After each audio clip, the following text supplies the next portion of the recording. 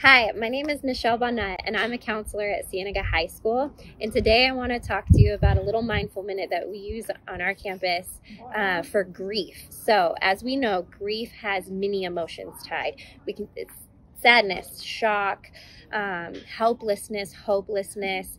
Uh, but we like to think that joy can also have a seat at the table with grief. Um, and in order to do that and have a mindful minute with grief and joy, um, is something we did on our campus this year. Is we unfortunately lost a very loved staff member here, um, and it was a shock to many of our students and staff.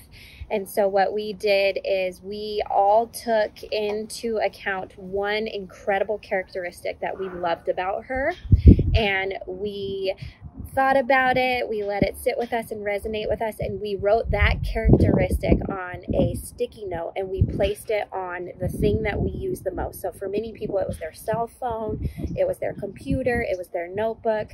Um, for me personally, I loved that she had a genuinely happy hello. Um, she would walk into any room and, hi, sweetie, and hey. So I wrote on my sticky note, a genuinely happy hello. And for the next week, I left that sticky note on my computer and every time I looked at it, I would go out and give a genuinely happy hello. Um, and that's kind of a way that her seed gets to be implanted in our lives and her legacy gets to live on as we take these beautiful characteristics and we give them back. Um, so, joy can also have a seat at the table of grief.